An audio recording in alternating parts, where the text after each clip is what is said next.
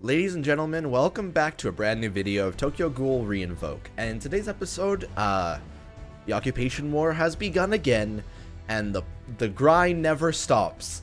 And so what we're here to do today, unfortunately I was shoehorned into becoming a ghoul this time, because every time it seems like if you log in after the first couple hours, you're forced to go onto the ghoul side because there's so many fucking people that were forced to, or that just immediately joined the CCG because the ghoul people are cooler to fight. Because I'd prefer to fight half Kakuja Kaneki in like his defeated stance and Rize over fighting Akira Mado and Angry Amon. It just, it, I don't see that being as interesting. But of course, because I've been shoehorned onto that, we're to be fighting mostly Amon and Akira this time. Shame. Shame. But what I'm, I'm going to do, they did a couple of quality of life updates uh, for the game, this update in particular. They actually added tutorials for the dispatch. They had tutorials for all the buttons on the bottom of the screen, which is super helpful for anyone who's joining.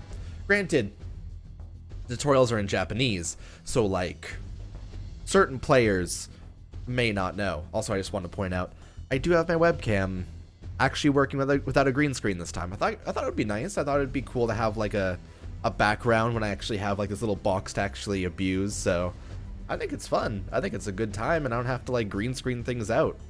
I think it's super good. Plus, you can actually see my eyes because like my eyes don't get green screened out. Which is really funny, by the way. My eyes are so green, they get taken out of the green screen. It's really cool. But what we are going to do is I'm going to go ahead and finish off the dispatches. You will see here there's a slight new pop-up for the dispatch. Nothing too crazy, but it's basically just like, hey, you you completed it. Congratulations. Granted, a pop-up of red text seems really bad. It seems like you're like breaking the game. It's like, oh, the entire 11th ward died. My bad, dude. But works out. What we are going to do here is we're going to go to this tab and just kind of click through all of my characters that are here and hope for the best. You can see that I, um, I have the dupe of the SSR Ayato Dispatch. You can't use both of them in the same quest, so I'm just kind of SOL for that. I also got this boy from just logging in. Basically, it's just Kaneki in a swimsuit, but like, you know, he's, he looks so not toned at all. And the idea that being tortured just kind of like pumped him up a little bit when it, when it happened is kind of funny to me because he is an actual twig here. Like th there is no like, there is no meat on those bones at all. So, you go Kaneki. You definitely need to uh, not skip every part of your body day. Granted, I guess he didn't really need to work out at all before he became a ghoul, right? There's nothing like he really needed to do. It's not like he was running away from stuff or like he wasn't in in the wrestling club or anything like that. He was just some university student who liked books. So it's not like he it's not like he was he had some reason to be like I need to work out right now. I need to get in shape. Also he was like arguably he was in good shape depending on what you call good shape. Does skinny and like like if you're on the skinnier side of things and you have like I don't know if you're Kaneki does that count as healthy? I mean I guess he must have had a healthy diet beforehand except for the burgers. Maybe he didn't have a good diet. Who knows? We're, we're, we're debating the diet of a fictional character. I'm gonna jump past finishing off all of these because I don't really have a reason to show off all of them. See you in a second and this is the final completion for the end of the the finishing off dispatching times. I think it's a good time. And by the way, like so what I'm assuming right now in terms of the timeline of this game is so currently we're in a period of occupation war early stages we don't have any characters that have come out so far and the ones that are boosted are strictly from the old Fest units that came out before. However, what I'm assuming is going to happen is we currently have a confirmed two Arata FES units coming out. So that's Shinohara and Kuroiwa. And we have a confirmed Owl coming out alongside them. if that's the case, what I'm assuming is going to happen is we're going to get that as a banner in the early stages of the month alongside the Occupation War in the beginning. Then towards the end of the month, towards the end of the Occupation War, we're going to get a Takizawa release of a Fest unit. And then into next month, we're probably going to have one other banner. I'm not sure what we'd have um, going into that, but I have a feeling by the end of September, we're going to end up having probably the Black Reaper event or the beginning of October, because that's when the anime comes back, and we kind of do have those in the game. Likely we're going to have the Hairu Ihei unit release sometime within the September or so, so we kind of have like a course of events that that's probably going to happen. We've been releasing things in order of like the series. So for example, um, we had Orochi. No, we had the first, the entire squad of the Quinx. So every one of them had their own release. Then we went into the arc, which is the first episode basically, with Orochi, then Haise. Then after that, the auction starts. The pre-auction has, for example, just a bunch of like, just preparatory things. This Roma appears inside that arc um, during the arc or during the part where they become girls and they find Nutcracker. Then the auction starts. We get uh, Nutcracker from the auction. We get Takizawa. We get whatever. So we're getting into that, and I think that the arc is starting. So we're gonna start getting more content into the game during this period of time, and this whole month is probably going to be mostly getting into that auction arc from the beginning. Uh, what, what we will do here, so that's a green ghoul. Don't really need that. That's a blue CCG. I need that quite a bit. And that is books. Uh, let's go ahead and do some blue CCG stuff. Do I have a full CCG team already ready? Oh, yeah, but it's awful. it is god-awful. Um... I have no better members for this. Okay, so I had to cut that battle out because there was like some serious issues with it. Like there was a bunch of visual glitches and stuff. I should have fixed it now by going into the options of my legitimate phone. So hopefully that'll be all right. And let's get into another one. I did notice he just added a, re a retry button to that menu. That is fantastic. The quality of life stuff they're doing is really amazing around the game. A retry button was required. Um, the the ability to just see the drops that you get on quests is now like purple and, or green instead of being like just basic black. Very small stuff, but things that stack up into mattering quite a bit. Alright, so with this horrible team, with this team of absolute shitlords, let's go ahead and try and beat the second tier of this. I could probably upgrade... I'll upgrade Mutsuki after this. I have a feeling we won't be able to get uh, the A rank done with this team. I just don't have confidence in them, to be honest. I'm just going to try and get as many attacks as off as possible with... You didn't even break that guy? Really? Nice. Yeah, good, good, good, good job on that. Man, that sure is good. God damn it. Well, I mean, we got the first wave done with only one swap, but that's... If the B tier gives us this much dif difficulty, I have a feeling won't be lasting all that long. Okay, we'll get some normal attacks off. And... Oh. If I broke him, I may as well keep on attacking, right? Here, I'll swap out here to Mutsuki. You know what, Shinohara? Get a break off. Go for it.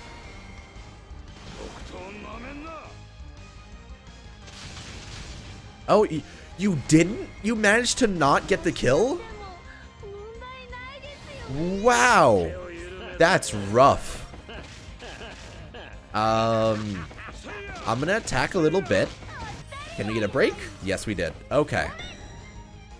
We're going into the boss now with one ability and no Johns, so let's see how this goes. I think I'm actually going to try to build up a break on these other people around him first.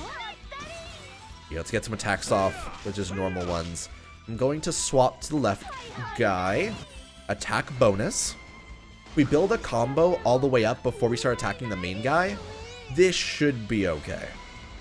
Is this one an attack? It is. It Does like nothing, but it is an attack. Okay, so Mutsuki managed to kill the guy on the left. We're gonna buff, then we're gonna try to get a break off with Juzo if possible. We'll see here. So normal attacks there. No, the damage that Juzo does in terms of durability isn't nearly high enough to be able to take down 3 durability, even from swapping at this point. Can we get no breaks? Oh, wow. Yeah, no, that's fine. Some normal attacks off here. This is okay. Normal attacks. Swap to Mutsuki. Normal attacks. And break. Honestly, this feels weird. Because I'm so used to just like crushing these quests super fast. So actually putting thought into it is really cool. I'm happy. There we go. Can we... Okay, it did get the kill. I would have been... You know how sad it would have been to have him have like that magic pixel and then just have to go to his turn anyway? Either way, we're good to go. GG to that Hoji. And that should be all the upgrade materials from that quest. Okay, cool. So that is a free Haka, and I should be able to upgrade Mutsuki now. If all went well in that realm of spectrums. Alright, so if we go to look at Mutsuki. Hello, my dude. Do you wanna? Nope. You totally need at least one more of those things. However, there is now a button that shows you that you can go to the dispatch and, huh, quality of life. I'm telling you, that's super helpful. Granted, it's not that helpful that you can't just click it and be like, oh, I want to go to this quest and just go to it. But one step at a time. One step at a time. I am going to go ahead and use this team, though. Yeah, that sounds good. Let's go ahead and try and actually beat this super hard. I'm going to go ahead and put my phone on the charger as well, because it appears that it's slowly dying, but we're getting there. Alrighty. So Ghoul Haise during this current season of Occupation War has double the attack of a normal Haise. Uh, like a ghoul. He also has 4 bonus AP. Meaning, levels probably won't be that difficult for him. Especially ones where he already has an attack boost because of his skill that gives him a 1.5 times damage on every blue or red or green character. This is not going to last long. Especially because, like, theoretically, if I were to pop Haise special, would his attack not be boosted by 1.75 times? I mean, if that happened, wouldn't that be kind of cool? Wow! And then I normal attack a bunch and break the entire wave, because hell yeah. What's my phone went off? What did I... Oh, I got an email. Emails are fun. Here, we're going to go ahead and try and break around Hoji first, because that sounds good. I'm going to swap my target to the guy on the left, because I primarily want to be able to get something particular off here. So I'm going to pop the buff of Toka. I'm going to pop the special of Haise. And if he lives, he didn't. If he did live, I was going to be able to use half Kakuja Kaneki's special as well, but that's alright. I just wanted to get the attack buff off from Toka because I wanted to see if I could use Kaneki afterwards, but it should be alright. Either way, we're not going to get the middle bonus here on this quest because we didn't use only CCG members, because that's what this quest is. The middle slot is just like, use only CCG members and you get this free 5 or 10 of the gold materials. But we got enough. We needed the first potions anyway, the most, I believe. Alright, so I'm to go ahead and go here. Hello, Mutsuki. Wow, I got a bunch off of that. The drop rates get improved by quite a bit. I want to do another attempt.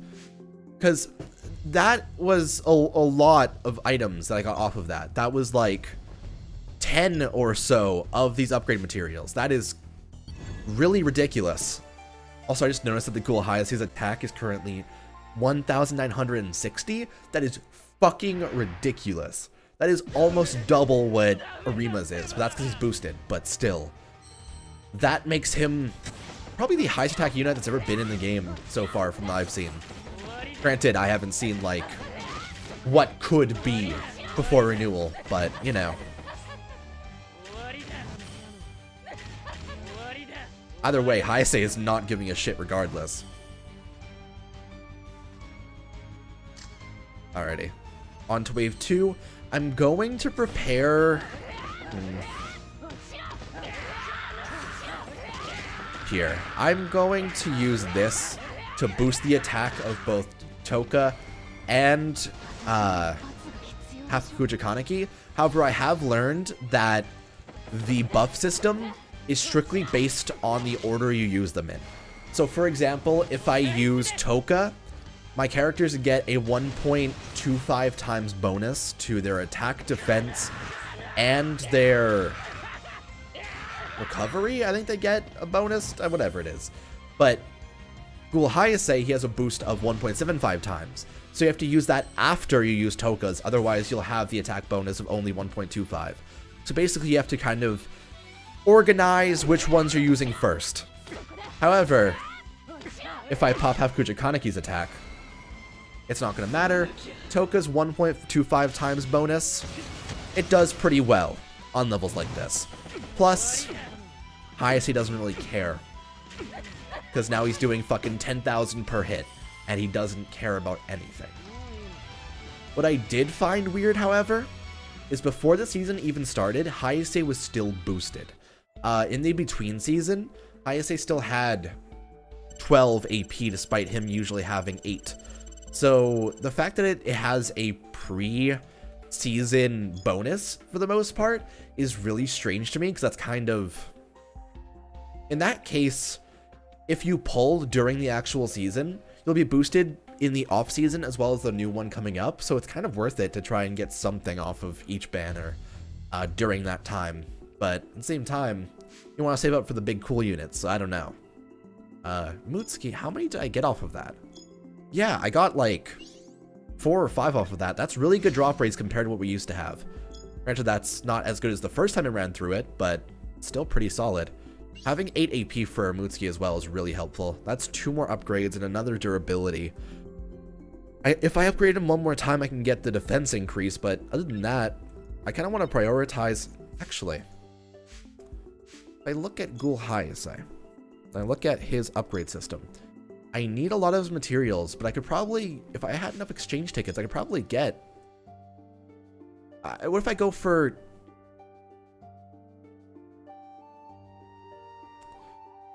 I'm tempted to just go for it. Just get five of those. Sure. We're gonna do that for now. I, I do need that, and if I do end up grinding up the materials for Haise along the way, that sounds good. I do need to get him to rank 7 to get him the, uh, the actual AP increase, which would put him up to 14 AP per turn, by the way. But if I get to level 8, that's when he gets the green damage bonus as well. Um, See, I kind of have my course for now. Uh, my main goal is going to be... Actually, if I buy five more of the gold upgrade materials, I could probably just be able to get that upgrade immediately as well. There's no way to grind it, though, so I would have to, like, buy the exchange tickets again. I don't know. Here, let's let's see what the other... I think the other dispatch quest was the book one. I don't really need to play it, but I want to get the Haka off of it regardless. So let's go ahead and play it just the hardest version, but on like just just knock it out of the way real quick. We'll get the A rank done and just kind of be done with today's episode. For the most part, the new season seems to be not much for now. We will be getting updates throughout the season that'll add like the Kuroiwa Shinohara Aratas and the Ghoul or the the Owl Kuzen is coming, I believe, um, August 10th, so that's two days from now, so we'll get there, I'm sure. Here, I'm going to go ahead and try and get a break off here. Try and build up my attack boost before I get to the final boss wave. God, half Kaneki, he just yells so loudly at all times. It's great. Well, quote unquote great, but you know here. If I can... I'm gonna nuke this wave. That sounds good. That should be able to actually knock out of knock out of the park for the most part this entire section. Plus, next section I could probably get away with uh, just using Haise's thing.